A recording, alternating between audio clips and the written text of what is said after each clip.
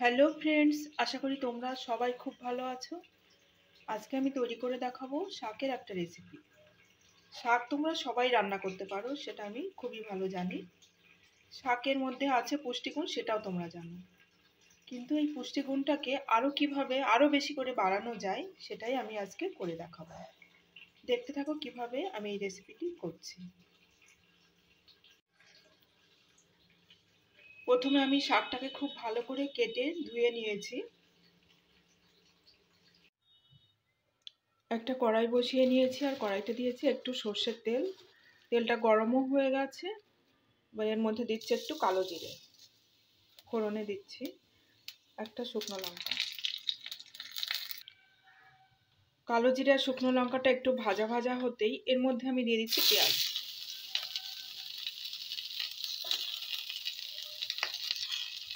পেঁয়াজ আর কাঁচা লঙ্কা আমি দিয়েছি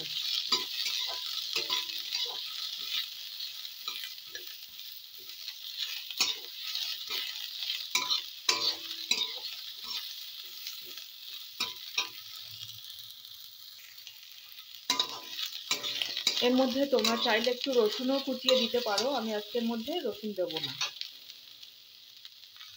এবার এর মধ্যে দিলাম খানিকটা মটরশুঁটি।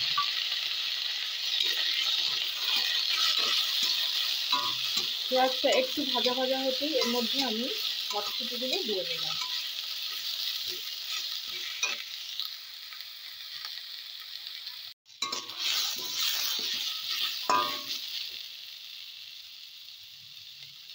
এবার এর মধ্যে দিচ্ছে গ্রেট করা গাজর।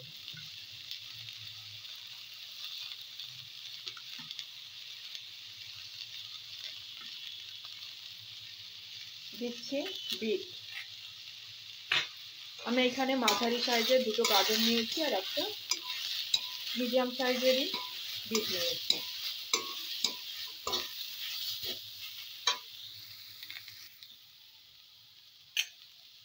এবার এর মধ্যে একটু নুন দিয়ে দিচ্ছি। নুনের পরিমাণটা কিন্তু তোমরা বুঝে দেবে। যে যেরকম খাও সেই অনুযায়ী দেবে।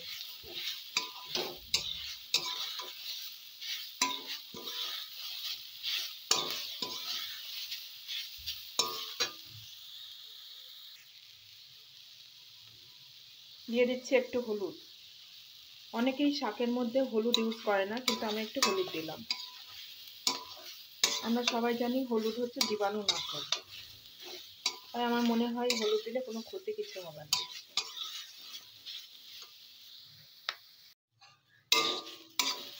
বিট গাজরটাকে একটু ভালো করে নেড়ে নিয়েছি যাতে এর কাঁচা গন্ধটা যেন না থাকে। এবার এর মধ্যে আমি শাকটাকে দিয়ে দিচ্ছি।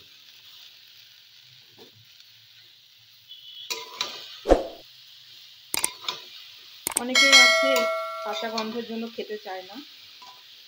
একটু নেড়ে নিলে সেই গন্ধটাও থাকবে না।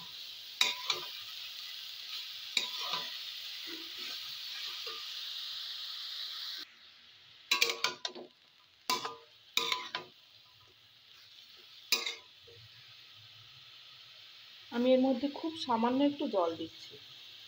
দিয়ে এবার ঢাকা দিয়ে আমি মিডিয়াম ফ্লেমে রেখে দেবো। আমি ঢাকাটা খুলে নিয়েছি আর মাঝখানে আমি একটু নাড়াও দিয়ে নিয়েছিলাম। এটা একদমই হয়ে গেছে। খুব ভালো সেদ্ধও হয়ে গেছে। এবার এর মধ্যে দিচ্ছি একটু, সামান্য একটু সর্ষের তেল।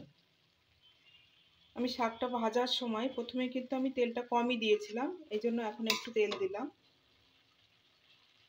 এবার এর মধ্যে দিচ্ছি আমি ছোলা। এখানে কিন্তু ছোলাটা আমি জলে একটু ভিজিয়ে রেখেছিলাম।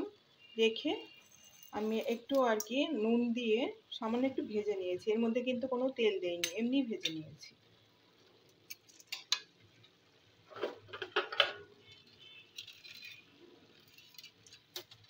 এবার এর উপরে দিলাম সামান্য একটু পোস্ত ড্রাই রোস্ট করে নিয়েছি এটা। এটা একদমই অপশনাল তোমরা নাও দিতে পারো। দিলে একটু খেতে ভালো লাগবে, এই জন্যই দিলাম। হয়ে গেল আমার শাকের রেসিপিটা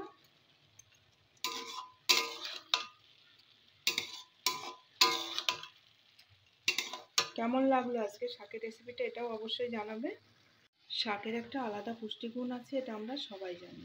এতে ভিটামিন আয়রন সবই আছে। আর আমি যেসব জিনিস আর কি এর মধ্যে মিশিয়েছি, এর মধ্যেও আছে প্রচুর পরিমাণে ভিটামিন আর মিনারেলস। এটাও কিন্তু আমরা সবাই জানি। এবার একসাথে মিশিয়ে এর পুষ্টিগুণ আরও বেড়ে গেল।